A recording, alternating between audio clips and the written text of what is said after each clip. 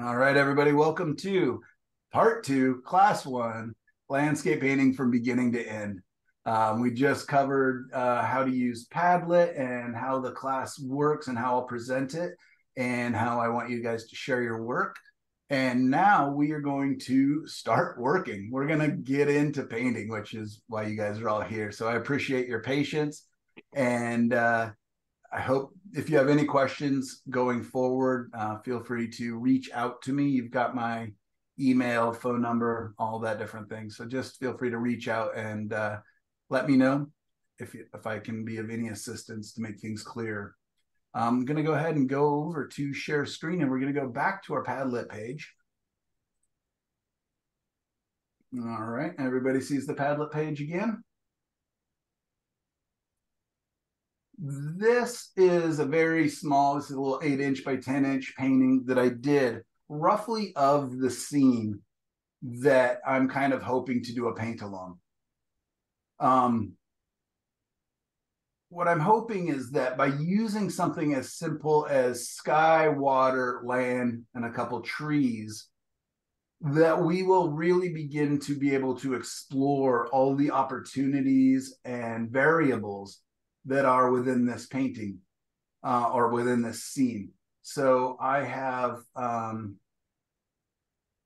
under the reference photos and also in the email that I sent out to everybody are the different images. This one I did not email to you. This is the midday photo, kind of the most boring, just rudimentary, just like here are the elements of this scene. Um, it's not as beautiful as it is when you're actually out there and there's herons and bald eagles flying around and deer walking around and stuff. But uh, what why I chose this for our first assignment, our first paint along, is that it literally has four main elements: sky, water, land, and trees. What I'm hoping from this very first experience is by taking some basic elements, we can realize that we can change the angle, we can edit, we can zoom in, we can zoom out, we can take each one of these elements independently and think about it. My biggest, biggest pet peeve in teaching is when a student says because it's in the photo. When I walk around and I'm like, so why is that branch reaching across here? Or why is there a brick wall right here in the front that you don't get to get through? Or what, you know, all these different things. I want you guys to literally have an artistic license, to just know that everything is only an inspiration. Everything is a jumping off point. Everything is malleable, changeable, editable, and not don't eat it, but you know, you can edit it. um, and that, you know, the same place visited multiple different times gives you very, very, very different scenes there's something wonderful when you take a photo that you're just like, yes, this is it. All I have to do is copy this, and I should be able to make a good painting. But more often than not, we have this. But just knowing that with this, this information, this limited information, this almost dreary, not dreary, but kind of boring setup, I have unlimited options. That's what I want to present to you guys in this first painting. That we can take any of those four elements the trees, the sky, the water, the land and they're all changeable, they're all movable. The first thing, though, that we're going to do is we are going to work on different edits, thinking about the different elements that are within the painting. Right? I love this scene. I really do. I mean, it, when I wake up at sunrise, that's what this is. And that's when I go down there and paint a lot. Again, it's only 15 minutes from my house. I know that I'm going to have something probably given to me. I know that I'm looking east. Mount Hood, for those of you in Oregon, are is somewhere back here. Um, but I know that I'm going to get a sunrise. I'm probably going to get some fog because it's a very marshy kind of a wetlands bird preserve. Um, but there's a lot of things in here I don't like. I think this lump of trees is very boring. It kind of bothers me every time. And every scene, no matter what time of day, it's just a lump of trees, right? All of these trees are just little domes, very repetitive. This creek reminds me of the Nike symbol. It's very clean because it's a man made uh, little stream, but at least it has a turn. But it is pretty, it's like a canal, right? The grasses are all very uh, flat, and there's not a lot of change of color, at least in some of the paintings, depending on the time of year I go out there. The sky can be kind of flat sometimes, you know, somewhat interesting. There's a bit of a hill back here. There's some fog in this scene. But within that, you can see that a little bit of Queen Anne's lace here. And when I did the painting of it, I'm like, well, that Queen Anne's lace adds at least a little bit of interest could add a lot more. I've been out here multiple times when there's a heron standing in there, and that can be really beautiful if that's something I want to get into, or I could paint birds. Anyways, what we're going to be doing is using this base and altering it to suit our wants, desires, needs, whatever it is. I'm hoping that within this simplistic scene of four major elements, that you will see that, oh, I can change these trees. I can cut down these trees. I can clear out areas of these trees. I can move the creek around a little bit. I can change the sky. I can invent more wildlife. I can bring in other references that maybe have a more interesting field. I can look at other references, other photos, and see are there trees that might be a little more fun maybe help me tell the story of this a little more? What if also, all right, you guys see all the photos now? And now this photo? Is it showing this uh, a single photo yes. now? Okay, great. So now I'm just going to edit it on here. So the easiest way to edit our photos is on our camera and or computer or iPad, right? A great way just to quickly try something is what if, you know, if this was exciting and there's some interest here, you know, I got this interesting sun, even though the camera can't, you know, make sense of that weird color back there. Um, what if I just simply did this? Does that help? Is that interesting? Does that feel like it's helping to tell the story. I don't know, but I might want to experiment with that. Right? What if my main focus is that sun, that setting sun back there? You know, even though the camera is not capturing it correctly, I was out there, I was painting, and I actually have a little study of this somewhere where I, you know, I think my colors were better than the camera. Camera always has issues right? To get the beautiful colors in the sky, it's going to make the darks too dark. In other photos where I get the information in the darks, it might bleach out the sky, right? That's okay because I can make this up. So what if I really made it about the sun? You know, maybe put it in you guys see when I'm moving these, you see those lines going horizontally and vertical? That's called the uh, separation of thirds. Well, that's not really what it's called, but that's what we're going to call it right now separation of thirds.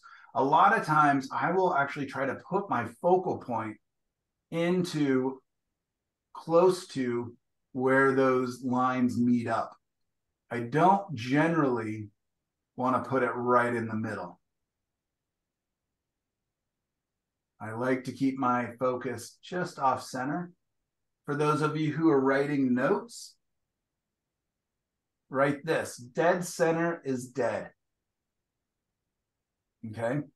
Dead center, if I move this horizon line right into the middle, it becomes a much less interesting. It becomes very stagnant and still. So, what I'm going to often want to do is decide is this a painting about the sky or the land, the water, or the trees? I'm going to want to ask myself that because let's say it's about these gorgeous colors in the sky. Then I'll probably want to move it up. See, we still get a little bit of the water, we get a little bit of movement. You know, it's a little bit awkward, but there's, you know, if it's about the creek and that little bit of sky is kind of helpful. I can work on this, right? I can also make it a vertical versus a horizontal. This is very much about the creek. This is about the water. This is about the sky's colors reflecting down. And it's so fun just to realize that within this one photo, not even a great photo, I theoretically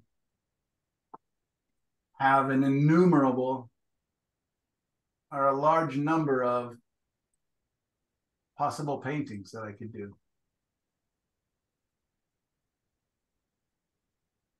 Just by simply getting in there, editing, moving things around, I can really see lots of opportunity, lots of chances, lots of things I can focus on. Sometimes I like to get even more creative and just like, well, what if it's about these trees and that little bit of water? Or, yeah, what if it was a long horizontal? Hey, Michael, Yes, sir. what what what program are you using? This is simply the uh, on my computer when I click on the image.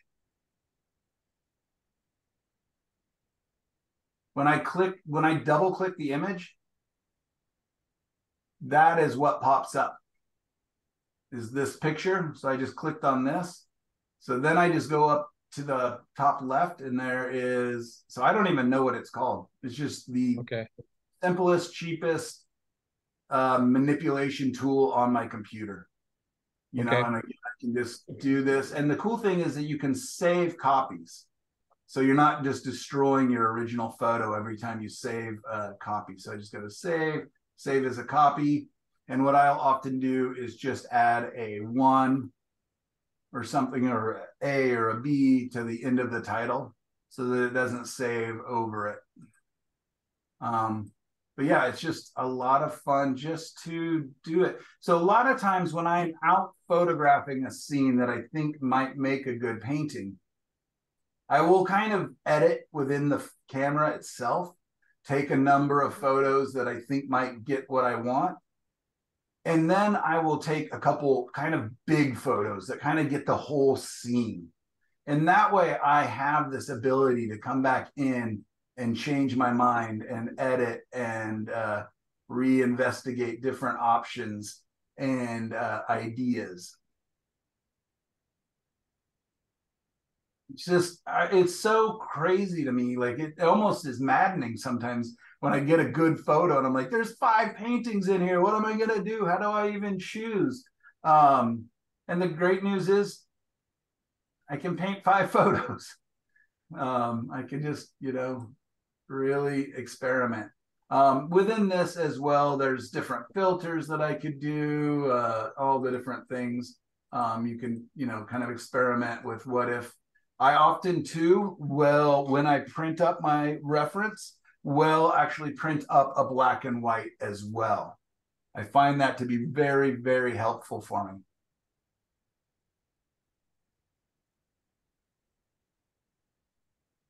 Okay, so if you're good with you know decent on the computer, you can use you can use uh, your camera. You can do that within your camera, even within your. If you literally uh, go to your camera, if you have a smartphone at all, and just pull up photos, you can edit so much within there. Um, for those of you who are a tiny bit more advanced, one of my favorite editing softwares that is, I think, $2 or $3 is something called Snapseed. Um, they just came out with a new version, which is fantastic. You can just play and experiment, and it's kind of amazing. I've taken some pretty lousy photos and made them into some pretty interesting images using Snapseed. Um, another software that I like, especially for the beginning and the design stage of my paintings, is something called Notanizer. So if you can think of the word notan, N-O-T-A-N, it is Notanizer. And basically what it does is super simplifies your photo into black, white, or black, gray, white, or black and two grays and white. And it really gives you, it really breaks down the design. Here is a ver- here's an example of that. Michael, can Yep. can I ask the last photo that you just switched off of? Sure. Is that one in Padlet? Yeah, I'll have to get back. Yes, of the tree, Okay. the water under. I just put it on. No, during- No, it was of the stream, but it's very tonalist. Uh, this one. Yeah, Yeah, that should be on the Okay. Padlet. And thank I you. Sorry to interrupt. Thank No, you. you're fine. I think I also send it in the email. Okay, thank you. Let let me know if not. Um, oh, I need to show you guys that too on Padlet of how to actually use the images. Um, so my main go-to, especially out plein air painting, a lot of time is just within my camera. I will take the photo um, in my camera. I will do a little bit of editing, kind of figure out what design is speaking to me. I will oftentimes adjust it and get rid of the saturation because now I can make up all these colors. I can really play. I can do a lot. Um, or I can push the colors and make them really crazy. Um, all these different things. And you can do, again, all of this within your smartphone if you have it. Um, but I will often turn up, turn down the saturation, uh, turn maybe up the exposure a little bit, and turn up my contrast. And what this does is it begins to break the painting down into very usable, simplified value pattern, right? Can you, you know, if you take this versus this, right, you can see how much easier it would be to do your preliminary sketch, your uh, drawing, if you will, or for me, I like to do um, underpaintings oftentimes. So I'm just lowering the saturation and pumping my contrast. And all of a sudden, those three, four elements water, sky, land, and trees become very obvious to me. Right? When I get into my painting, I can, of course, push them. I can, you know, lighten some areas, I can cool some areas, I can warm up other, other areas. But with this, all of a sudden, I can do all sorts of things with uh, you know making up my own colors and having a great time. So that's what we're going to be doing next week. This week my hope is that you do three or four value studies black and white. You can do it with your pencil. You can do it with your pen. A lot of times out in the field i actually just use a sharpie. So i literally have black and i have white and it makes me really decide what's in shadow or what's dark and what is in light. And I'm just looking for the big elements. I don't often get too, too, too detailed. Um, and I'm looking for the light and dark patterns, the light and shadow patterns, and I'm looking for big shapes that help me to tell the story. So, can you guys imagine that?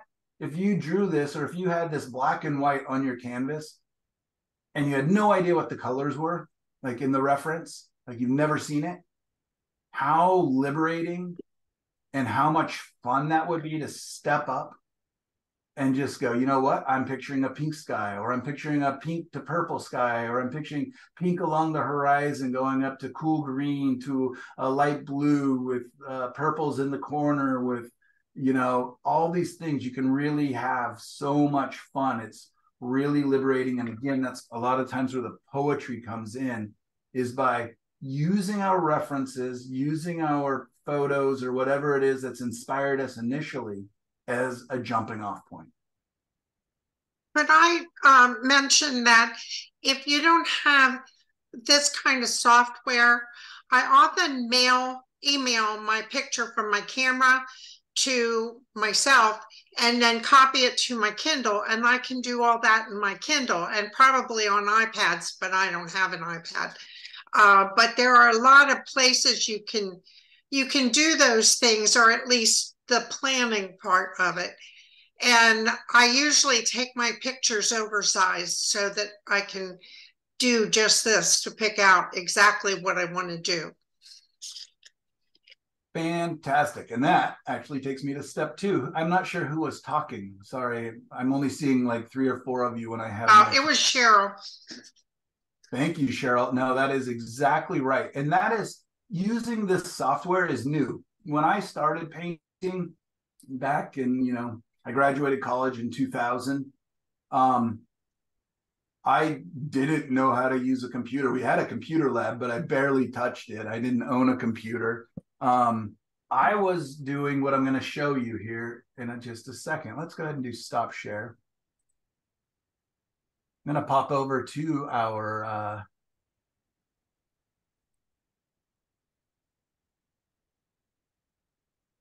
There we go.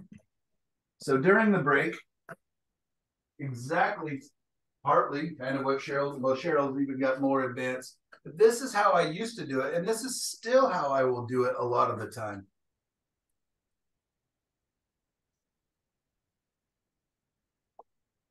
Is I just printed up black and white copies of it. Right? Let me, uh, I'm going to go ahead and pin myself so that I'm the focus and straighten that camera out. Don't worry. All right, so I should be the primary uh, view on the camera. Is that right? I see your canvases. Yeah, yeah, I, I meant that. Yeah, but you're not seeing everybody else. Correct. Let me just set up that camera. Try not to make you too seasick. So there's a couple different ways we can simply do it. And this goes back to my illustration days and tools and tricks that I learned. I feel like I was so lucky, even though I don't consider myself an illustrator any longer, consider myself, you know, a fine art painter or whatever. Um, you know, I paint for galleries, paint for do commissions and things like that. So I don't, you know, that dragon and everything else that I showed you, I don't do those paintings very often any longer. But what I do oftentimes is simply taking the black and white photo, looking at it, deciding I can do something as simple as this.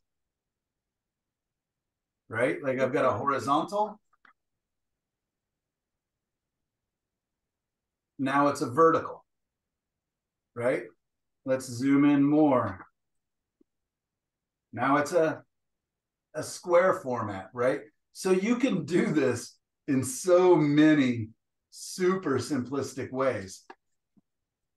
You know, Can I ask I a question, please? Please, of um, course. Is that water behind those trees in the distance? No, it's actually just a band of fog. There is water back there, but I don't. It's such a flat field. I don't believe you can see I, it. it wasn't on that one. It was on a different one that you could see water. I thought you could see water, and I would. Oh, it's all right chance. And here's the great thing is if you want to have water back there, add water back there. And in fact, the painting that we did in class last six weeks, one of the students just said, Oh, that'd be fun if there was water back there. And we just added water. And it was so great. And it made it a better painting. Instead of having this big field behind it, we just changed it into water. So that's what I'm really hoping is that you'll, you know, kind of figure that out. Another tool that I use a lot or just I just cut these up before class. I just took two pieces of paper, cut, uh, you know, I put them together, cut two L shapes out. And a lot of times I will just simply do this.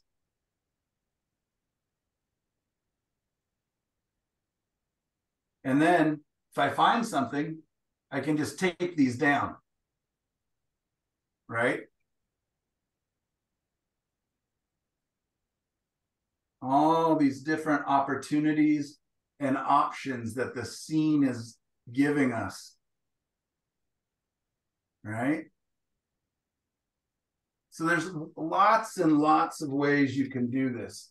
Um, initially, for the design of this class, I was going to draw out a number of thumbnails, just little two inch by three inch sketches, which is what a lot of time I will do when I am out plein air painting. I'll just take a tiny sketch pad and simple number two pencil or a, a B pencil, which I prefer a little softer and a little darker.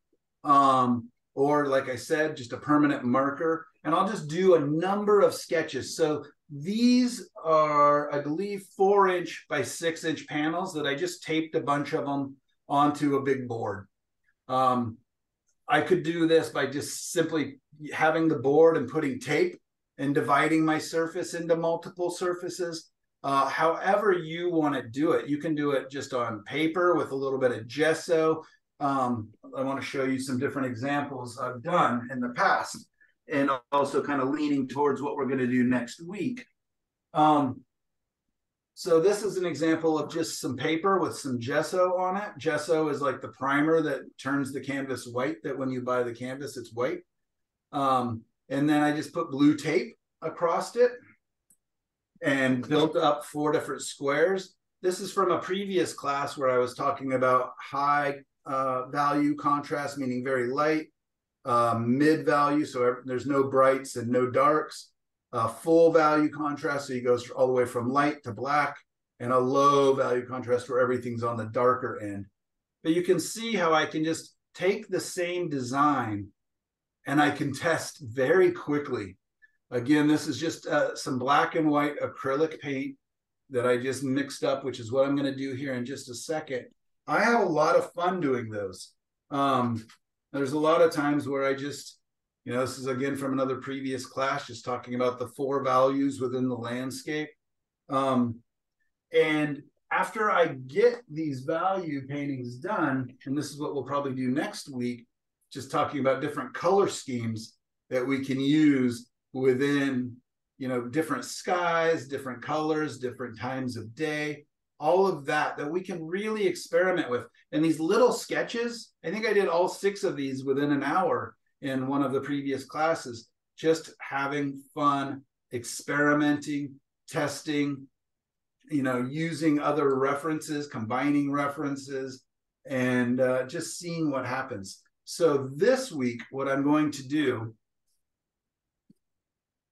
and I hope that you guys will do, is I'm going to do a number of variations of this scene with different edits. You know, some where the sky is the main element, some where the water is the main element, some where I really manipulate the trees because again, I just don't care about this lump of trees here. It's just not interesting to me.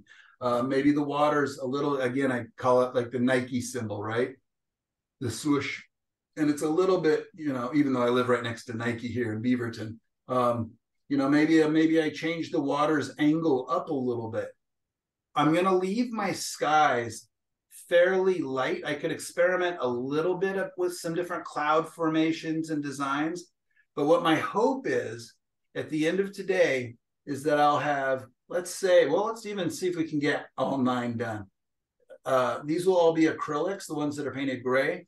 The white ones, I'm going to try to do very quickly some wiping away technique. That's uh, I know one of you mentioned that you saw me on um, the Plein Air podcast with Eric Rhoads doing a wipe away. So I'll show another technique that I use with oils. These are going to be acrylic, but I could do these in oil with just simple black and white, or I actually prefer doing it with burnt umber and white. I just like that warmth personally. But I just thought to keep it simple today, we're going to do black and white. And then next week, I will have all of these different designs. They'll be nice and dry, and I'm going to be able to come over it with paint next week and really just see what if, what if, what if, you know, what if. And then my goal is to take my favorite of those and blow it up and make it into an actual detailed designed painting. This, you know, in this class situation is taking a long time. But if you were to just do this at home in your own studio, you can get knock out a bunch of these in a matter of minutes, truthfully. Let them dry a little bit if you're using acrylics, or you can just do them with pens or pencils, whatever you want to do. And then doing a couple little color studies to like, what if it was, you know, a sunset? What if it was sunrise, which is often a little cooler feeling? What if it was midday? What if it was stormy? What if it was winter? What if it was fall? All those things that I can test really quickly. We're just trying to take the not I don't want to say the guess well kind of taking the guesswork out of our future painting so that we have a fun, interesting, good idea moving forward. Does that make sense to everybody? Hopefully, you guys aren't rolling your eyes. Ah, more thumbnails, more preliminary sketches. I'm going to do uh, screen share one more time. Michael, are those yep. surfaces um, cardboard or wood? Yeah, they're that crappy cardboard with canvas wrapped around it that you can buy in like big old packs. The mini canvas, mini canvases, or yeah. Yeah, so I've got, I just, especially when I'm teaching on location, I just buy stacks of them so that the students can, um, you know, have them buy them from me. But they're a lot of fun because I'm not worried. I'm not going to sell it, you know, at least not in a gallery situation. I might sell it directly. Um, but uh, it's um, because it's on that cardboard. It's you know, it's not fully archival. It's um, what is going on? All right. So I just want to show you guys really quickly, and I apologize to the students that have been with me before. This is a quick, quick, quick story. I'll, I'll make it fast. There's long versions you can find online. Uh, it's a sad story um, about why I made this up. It's called a self critique before, midway, and at the end. All right. So I had a, I got invited very last minute to do a big show um, they another artist had bowed out like two or three weeks before the show. They asked me if I could, you know, paint enough paintings to fill up at least one, maybe two of the walls. I stupidly said yes. Um, with even though I had no paintings, just thinking I could fill the space. I decided very quickly that if I do big paintings, it'll be much easier to fill the space than a couple small paintings. I just attacked the canvases. Um, and by the end of the first week, I realized I had three big dumb paintings. The design wasn't there. Nothing had been thought out. I just was very exuberant. I just jumped at it. I just um, I didn't do any of the preliminary work. And I now I'm down to two weeks to get the show going, or you know something like that. And it really just reinforced how important thinking and designing is in our work um, I have stacks of little paintings to my right over here where I literally just get so excited. I jump at them, I get them started, but none of them are gonna, you know, it's gonna take a lot of work to get make them into anything because the design's not there. The the I, I just didn't have a complete and full idea. I do believe very much within our work, we need to have a conversation with our paint and be willing to make changes and do fun things and you know respond during the painting process but if we can use our analytical side a little bit more at the beginning of the painting it frees us up and i promise you this a little bit of the boring at the beginning makes the painting more fun and there's a number of different ways that i approach that we'll talk about some of it next week with color and things but I made this check sheet for myself. And now I recently started sharing it with students. And it uh, there's a whole bunch of information here um, we'll share. And again, I apologize to students who were with me last term because I shared this then. But I if I don't fill this out, I think about each one of these questions as I'm starting my painting. All right. What is the theme, idea, or concept? What do we wish to communicate? This affects every other decision the subject, mood, palette, and composition. Right? Is this a sky painting? Is it a, you know, is it about the creek? Is it about the field? Is it about the trees? Is it about, you know, color? Is it about mood? What is it that's drawing me in or makes me want to paint this scene? Write that down. Make a bunch of copies of this for yourself. Have a stack of them in your studio or near your, all right? Design and composition, that's what we're talking about right now. Value distribution and structure, also what we're talking about right now. Color and temperature shifts, that's what we're going to play with next week edges that will come into my final painting. But it's a, a, painting with hard edges versus soft edges or lost and found edges feels very different from each other. You know some acrylic painters have lots and lots of hard edges you know no no soft fuzzy edges. I love soft fuzzy edges. Uh, maybe too many in my paintings. Um, i often want my paintings to be contemplative kind of meditational. So I lean in towards that. But there's times when I want my paintings to be, like I said, a fiesta, not a siesta. I want it to be a party on the canvas. I want it to wake up a room. I want it to demand space. For other ones, I want them to sit back and compliment the furniture or to compliment the nice cup of tea in the morning or whatever it is. Um, paint quality and feel. All right. Am I going to use thick application of paint or am I going to use a thin application of paint? Am I going to be working up slowly in glazes? All these things I should start to be thinking about in the beginning uh, towards the end of the painting, I will be start to look at what were the strengths because no no painting is you know you don't hit any paintings fully out of the park. They're not full successes and you know some but they're also not full failures. And if and what I want you guys to really really really learn in this class is that every painting and you guys have heard this before every painting is an experiment and you can't fail an experiment you can only learn and every painting is towards the next painting. Every painting is about the next painting. If we keep learning, then we're never failing, right? Because paintings hurt our feelings constantly. For whatever reason, they don't work out. They're always, you know, doing something a little bit, or we experiment a little bit too hard. We try something new, which I'm always urging you guys to do because that's how we learn. I want you guys to be playful, to be experimental, and to go for it. But just know that there's I'm only grading you on the fact that you're doing it. Paint time is the most important thing, and then learning. So then I can write down what were my weaknesses in this painting.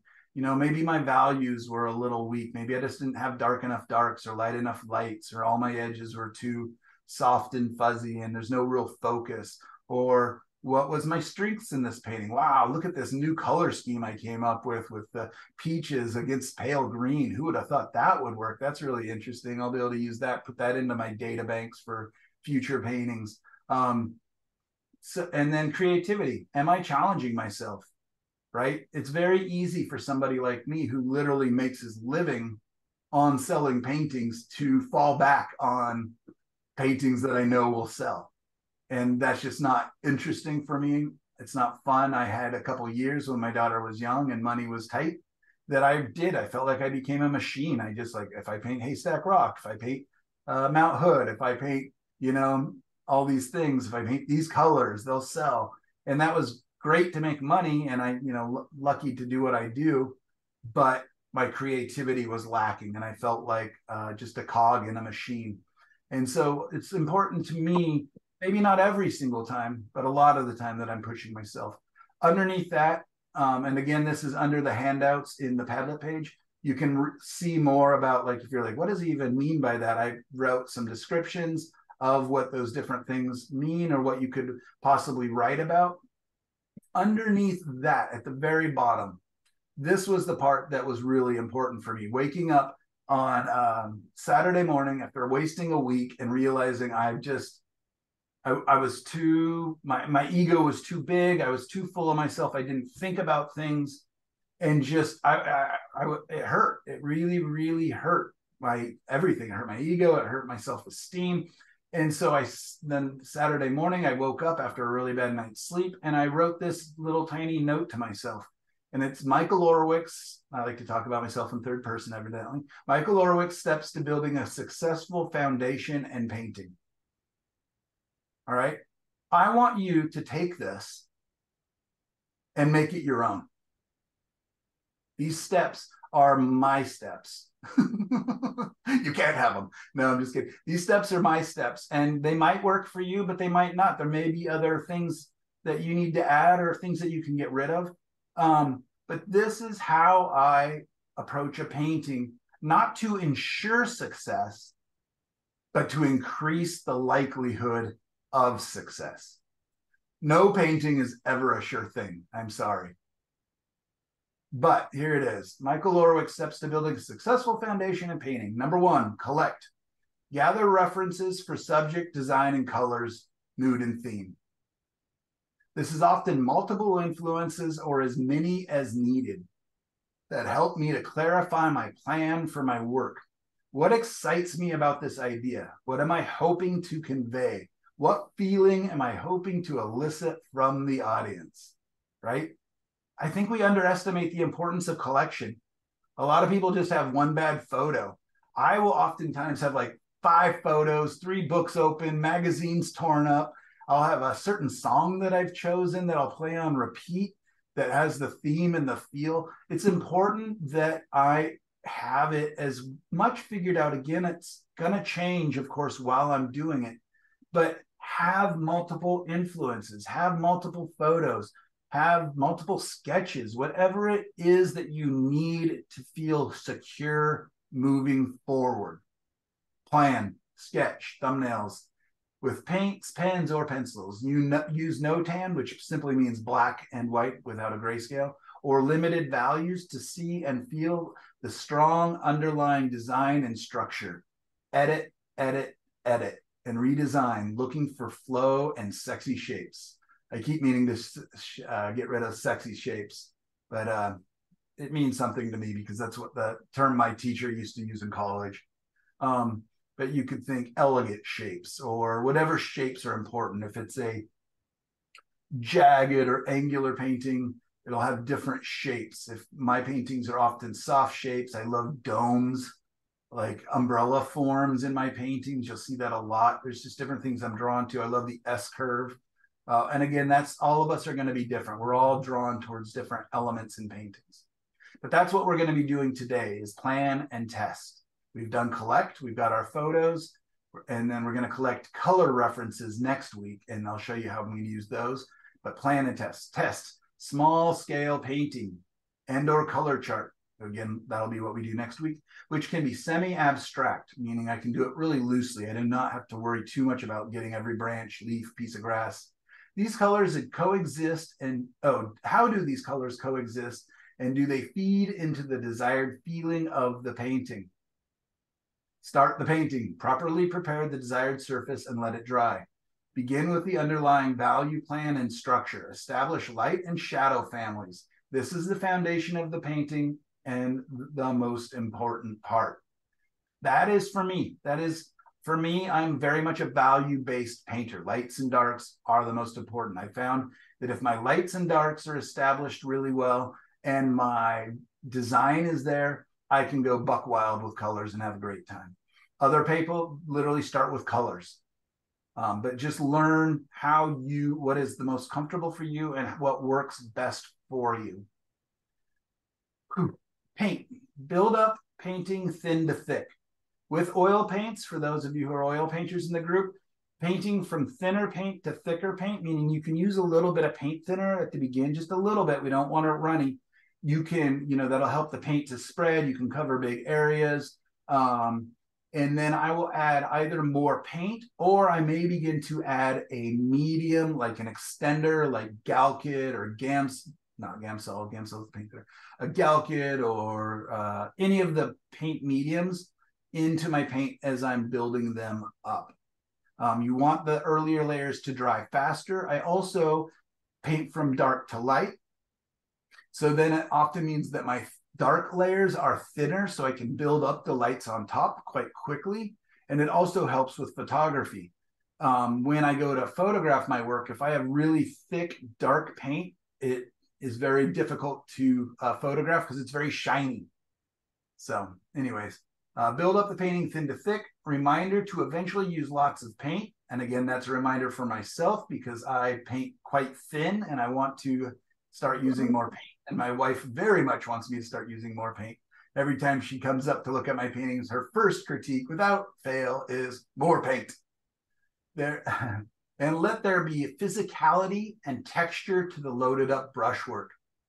Don't overmix or blend too much. Again, notes for myself.